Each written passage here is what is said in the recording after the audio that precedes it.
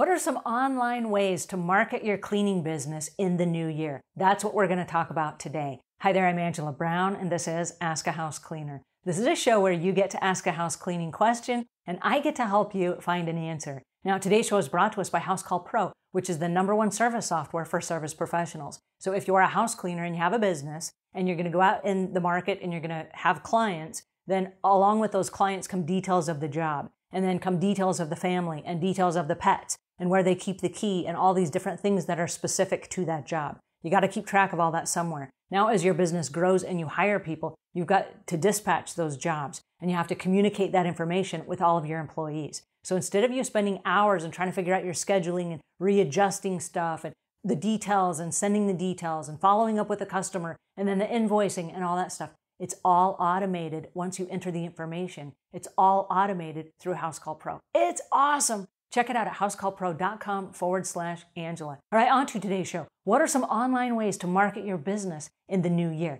This is super exciting, and I have with us Ray Malaski from Get Cleaning Clicks. And this is a cleaning company that he started for his wife. And then he said, wait a second, I have a knack for the marketing. So he did a deep dive into the marketing and he started researching ways that you could get your business to the top of the search engines. Then he started looking at different ways from social media and different ways that you could grow your business and get more cleaning clicks. So he's back by popular demand. He already did a show for us before. It was a rave review. And then people are like, have him share with us the online ways we can grow our business in the new year. So please help me welcome Ray Malaski. My name is Ray Malaski. I run a company called Get Cleaning Clicks, where we specialize in marketing specifically for cleaning businesses and cleaning business owners and we offer web design, social media, SEO, uh, Google Ads, all for based around the cleaning business. Well, one of the reasons I asked you to join us again today, aside from the fact that backed by popular demand, I know that we're moving into a new year and there are lots of cleaning business owners that are starting with a fresh slate. And this is the year they're going to make a go of it.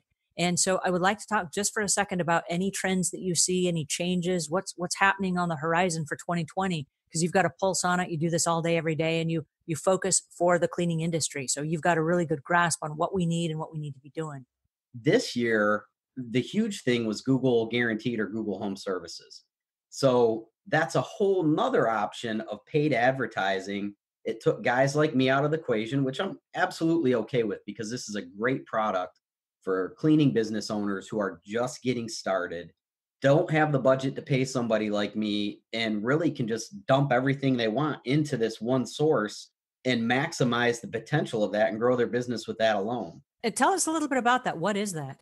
If you Google house cleaning near me or house cleaning your city, you'll see three boxes at the top of that Google search and it'll say Google guaranteed and they'll have the client's reviews on there from that cleaning business.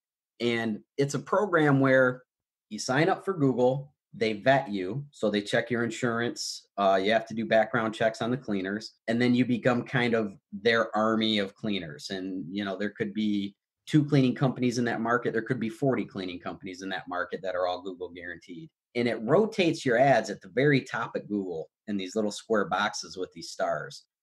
And people click there. They never even go to your website. It's all on their own platform. They click there. They decide to reach out to you they contact you through there, and Google only charges you for that phone call. It's different with Google AdWords because they charge you for the clicks. Hey, you got this click, it cost you four bucks, it cost you five bucks, whatever whatever your market is and whatever the keyword is depends and fluctuates. They took all that out of the equation. You click there, you call them, it's between 19 and $21 for that call. You're paying for leads. This is Google's answer to HomeAdvisor and Angie's List and it's 10 times better than they have ever been for a cleaning business. So if that's the new solution, what happens to the Google AdWords? You have Google Local, then you have Google Ads right underneath that. Still high value, still get great results, still brings in more customers and more ROI for our clients. And then below that, you have your map pack and then organic. So what's happening is now that Google Local came up at the top, it pushed AdWords down it pushed the map down even further and it pushed organic down even further. So it's taking away from that organic traffic and finding a way to monetize it and make it work for uh, local businesses, which I think this was a great thing for the industry. It's not something that's great for me because, you know, it's basically digital marketing without needing a marketing company. Well, one of the things that you just said was it, you will appear in a rotating banner. So I, I could still do certain things that would then help my organic search and my Google AdWords and things like that so that I can guarantee that I'm not just number 15 on the rotation list, right? You can, yes, because those with a lower budget will get less exposure, obviously. And you could set your budget within there. Let's say you're just starting out, brand new business, and you're like, okay, I'm going to give this a go. I'm going to put 300 bucks as my budget. Google knows compared to the other ones that put their money in there. Some people are at a thousand, some people are at 1500, some people are at 2000 a month.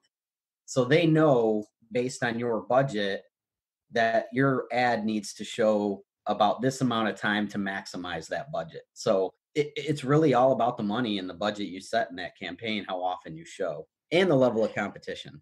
Is there anything that we could be doing right now that before we jump on that bandwagon and start paying the, I guess, top dollar so that we can be in the top spot?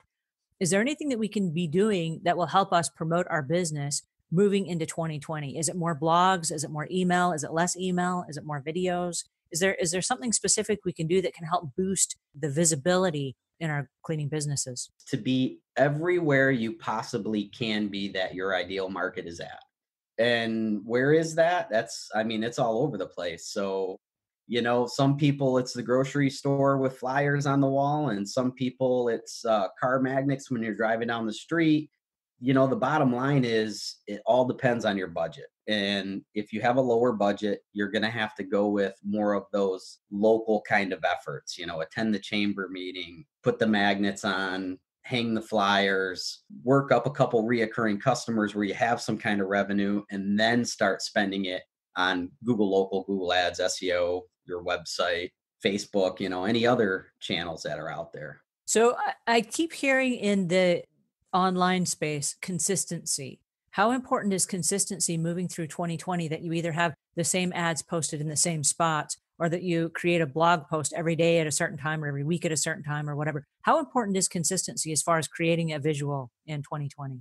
Consistency isn't necessarily how many times you post here or post there. It's just making sure you are posting there. You know, Instagram, it's not anything new for the marketing world, but it's new for small businesses. And people are kind of getting tired of Facebook and all that absorption of over information. And Instagram kind of makes that a nice balance because it's image based. It kind of takes away that stress of social media and just make it image based. So at that point, we're talking about branding. You're putting your company out there. You're targeting local customers in your area. So you want to talk geographically about that area 10 best things to do in my city, something that your customer would be interested in, even if you're not talking about a cleaning service. You're, you're touching them. It's important to make sure that you're there when they need you. And is that branding that you're talking about for Instagram? And I know you also do the Google AdWords and the Facebook ads and all those kinds of things. Is that branding something that you can help our listeners with?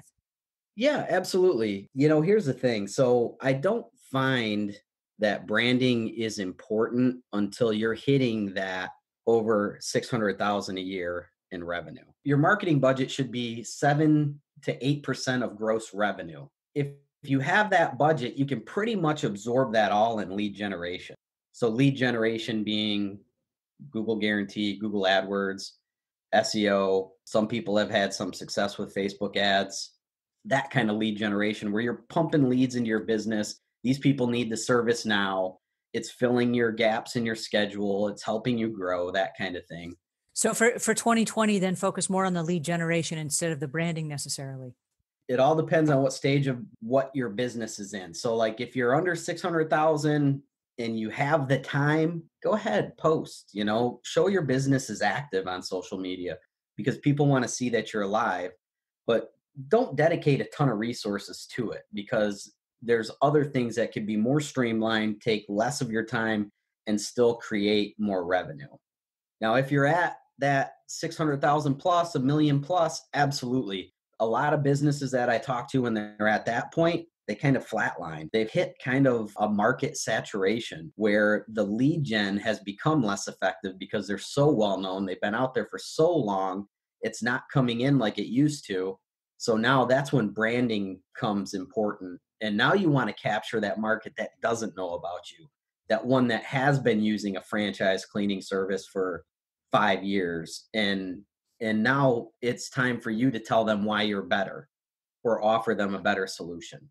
We offer a free strategy session right on our site getcleaningclicks.com if you google that that will pop up. You'll see the call to action to fill out the form. You fill out the form and we'll jump on a quick phone call um, just to touch base with each other and make sure that our goals are aligned and then schedule a strategy session where we'll actually go in do a market analysis for you you know look at your competition see what they're doing and then offer you solution around that I love this. Thank you so much. I know that there are so many cleaning business owners. This is the year that they're going to make the huge difference. So thank you so much for joining us today. This was super helpful. And I'm going to leave links in the show notes as well where our listeners can find your information. As always, thank you very much, Angela. It's a pleasure to be here. Alrighty, guys, and that is Ray Malaski from Get Cleaning Clicks. I'm going to leave links in the show notes to everything that he talked about so you guys can find him, have a conversation with him, and find out how you can take your business to the next level through online marketing in the new year. I'm super excited that we were able to have him on our show today. So thank you so much, Ray, for your time, your attention, and your energy. If you found this helpful, please pass it on to a friend. If we've earned your subscription, please subscribe. And until we meet again, leave the world a cleaner place than when you found it.